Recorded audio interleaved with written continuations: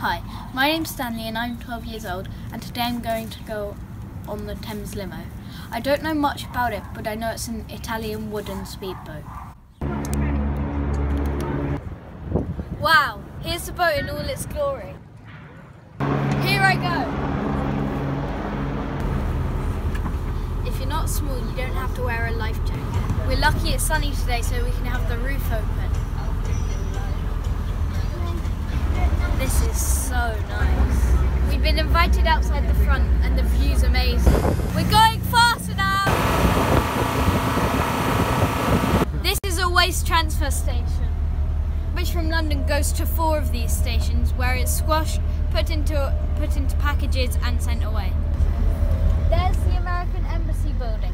It's taken three times longer to build than any other building as it's bomb-proof, spy-proof, fireproof and bulletproof.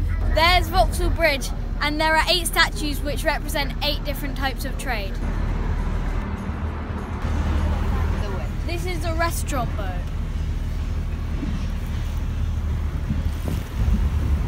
Looks like they're doing a bit of building work to the Houses of Parliament.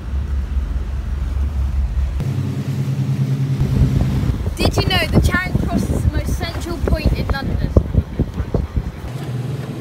Blackfriars Bridge is where the ocean and the river officially I'm meet. going to give this a rating of 10 out of 10 because it's very cool, it's very luxurious. I think I could probably live on this boat and the driver told us loads of amazing facts.